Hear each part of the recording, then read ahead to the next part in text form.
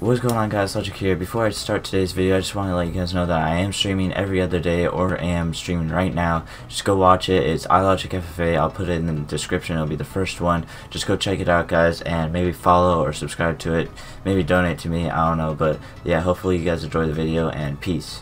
So I have Afterlife on my camo because I've uh, I've been running graffiti way too much and I'm just going to see if uh, some other camo helps me out here.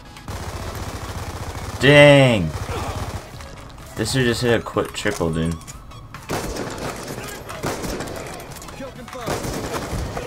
Bruh. Dude, I'm... Oh my god, dude. Oh god, he's... Uh, I destroyed yours and not mine. Oh, okay. So yesterday on Twitter, my, um, hopefully future girlfriend or whatever followed my iLogic FFA Twitter. What's your thoughts on that, Will?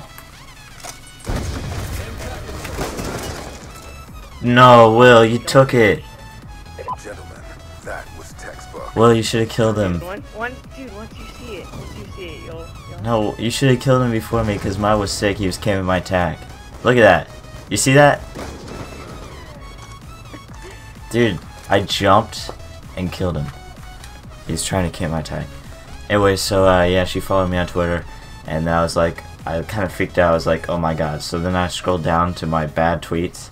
I just deleted them. And then I told her not to click on any of the links that are in my Twitter. Because if she clicks on the links, that means she's going to come to my YouTube. Oh, double standoff, dude. Yes. Okay, so guys, you guys know how I'm a, like a speed cube or whatever. Well, I haven't really played with Rubik's Cube for a while. And now I'm trying to get back into it. And I literally just keep coming to this every single time. Like, I can solve it from there. It's just these two parts.